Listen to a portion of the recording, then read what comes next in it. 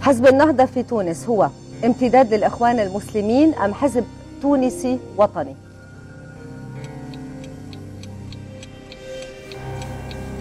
آه حزب النهضة هو حزب تونسي وطني. ما نقدرش نقول غير كده. بس أخذتي وقتك بالتفكير. أكيد. ليه؟ لأني أنا ما أعرفش خلفيته. هل هو من الإخوان ولا من السلفيين ولا كيف آه؟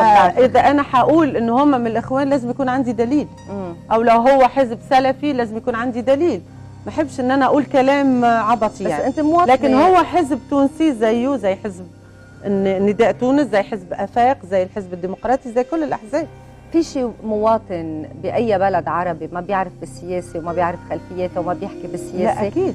آه. يعني أنت منك متابعة لخلفياتها لحيثياتها عم بتقولي لي عم فكر مش تشوف هو بتعمق. يعني أنت قلتي لي هل هو إيه. حزب تونسي ولا تابع للإخوان؟ للإخوان. هو حزب تونسي.